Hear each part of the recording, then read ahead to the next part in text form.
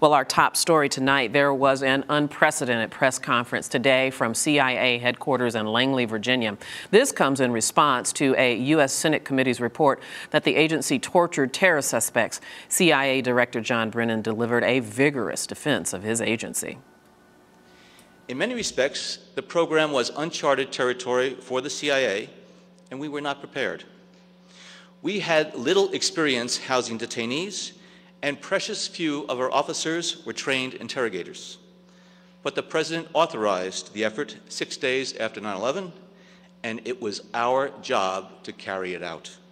He also called some of the techniques detailed in the Senate report abhorrent, but he also said they were authorized. Many lawmakers say they went too far. I understand the reasons that governed the decision to resort to these interrogation methods. And I know that those who approved them and those who used them were dedicated to securing justice for the victims of terrorist attacks and to protect Americans from further harm. I know their responsibilities were grave and urgent, and the strain of their duty was onerous. I respect their dedication and appreciate their dilemma, but I dispute wholeheartedly that it was right for them to use these methods, which this report makes clear were neither in the best interests of justice, nor our security, nor the ideals we have sacrificed, we have sacrificed so much blood and treasure to defend. We turn now to Arise News correspondent Leila McDowell, who reports from our nation's capital. Hey, Leila. Hi, Debbie. Well, CIA Director John Brennan strongly defended the CIA amid growing calls for his resignation. He disputed the Senate report on its two key points that the torture or enhanced interrogation techniques, EITs, did not provide good intelligence and that the CIA misled Congress. But walking a fine line, Brennan reaffirmed his agreement with President Obama for making torture illegal. Take a listen. Our reviews indicate that the detention and interrogation program produced useful intelligence that helped the United States thwart attack plans, capture terrorists, and save lives. There were no easy answers. And whatever your views are on EITs, our nation, and in particular this agency, did a lot of things right during this difficult time to keep this country strong and secure. Brennan stated that information from the EITs could have helped in the capture of Osama bin Laden, but did not dispute the report's findings of brutal torture in black sites, ranging from waterboarding to forced rectal feeding, constant beating, stress positions, confining prisoners in small boxes, sleep deprivation, and one prisoner freezing to death after being chained naked to a wall. And while he called some of those techniques abhorrent, he would not call it torture. Republicans issued their own report strongly refuting the findings of the Senate's 6,000 page expose.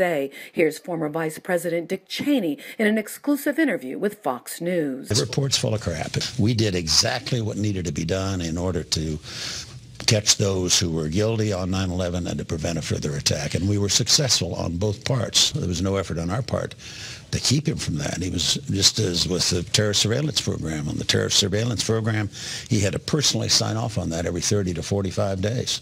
So the notion that the committee's trying to peddle that somehow the agency was operating on a rogue basis and we weren't being told or the president wasn't being told is just a flat-out lie. Democratic Senator Mark Udall, backed by human rights groups and liberal Democrats, has called for a clean sweep of the agency and for its leadership to be held accountable. But the president is strongly defending his CIA chief and says he wants to move forward, not backward. As of now, the administration is firm there will be no prosecutions. And Debbie, critics and Debbie, critics are saying that without any accountability, the stain of torture on America's honor, as President Obama frames this, will not be washed away. Debbie? Well, Leila, uh, as you and I know, Senator Dianne Feinstein responded to Director Brennan's statement almost in real time. Talk a little bit about that.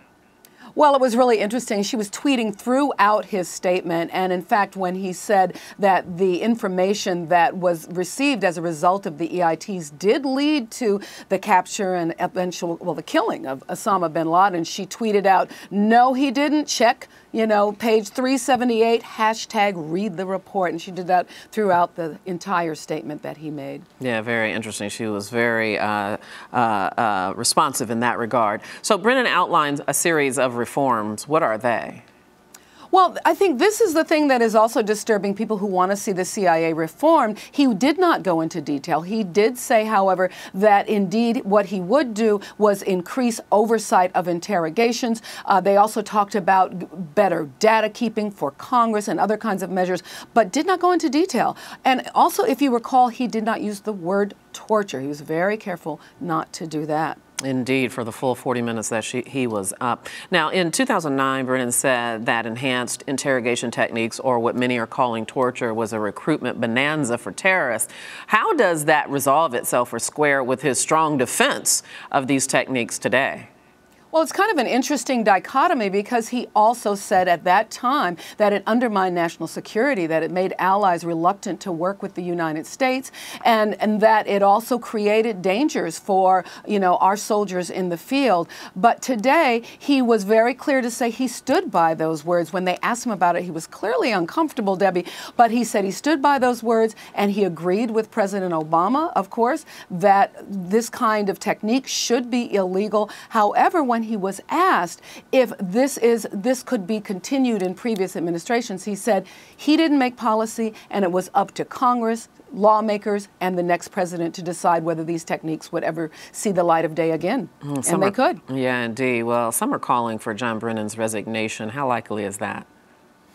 Well, not likely right now. Uh, Senator Mark Udall on the floor said that, you know, it was very important to see uh, some heads roll because without accountability, there's not going to be some change for these, what he called horrendous practices. Republicans are firmly behind the CIA, and they've called the Senate report fiction. And of course, they are going to be in control of Congress next year. And the president issued a statement immediately following Brennan's news conference saying Brennan is doing an exceptional job. So unless we see a really loud outcry and a lot of pressure, it's very unlikely that any individual will be, will be held accountable for these practices. You know, Leila, as we understand it, the Department of Justice has already reviewed this report and they declined to bring any charges at that time, which was a little bit, uh, uh, somewhat time ago. Why are they declining to bring charges? Well, what uh, the what the Department of Justice said, Attorney General uh, Eric Holder said, is they looked at this report. There wasn't any new information that they hadn't already considered uh, when they opened two criminal investigations back in 2009 of the CIA and these enhanced interrogation techniques. Um, and they said the main reason was because much of that information was classified, and they wouldn't have enough to actually get any kinds of any kind of conviction. All right, Debbie. Leila McDowell reporting for us from Washington. Thanks so much, Leila. Thank you.